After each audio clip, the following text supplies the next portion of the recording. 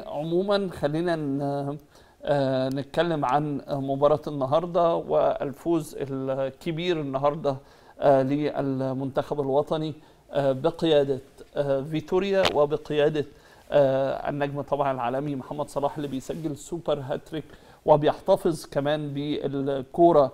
اللي اتلعب بيها المباراة النهاردة.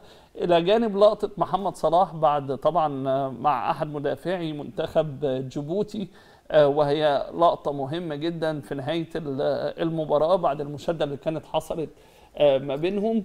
آه، محمد صلاح على طول آه، يعني صالحه وتعامل معاه بشكل محترم وهي سمة اللاعبين الكبار وده الفرق ما بين لاعب يمتلك ويعلم تماما آه، إنه يمتلك تاريخ هو الأكبر آه، في تاريخ الكرة المصرية واحد من أهم اللاعبين آه، على مستوى العالم. فبالتالي حتى لو حصل مشادة فبتواضع جم وتواضع شديد.